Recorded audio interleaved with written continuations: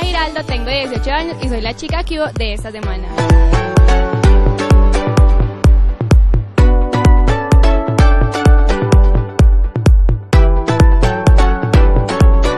Actualmente estudio inglés. En mis tiempos libres me gusta ir al gimnasio, ir al cine y me encanta comer.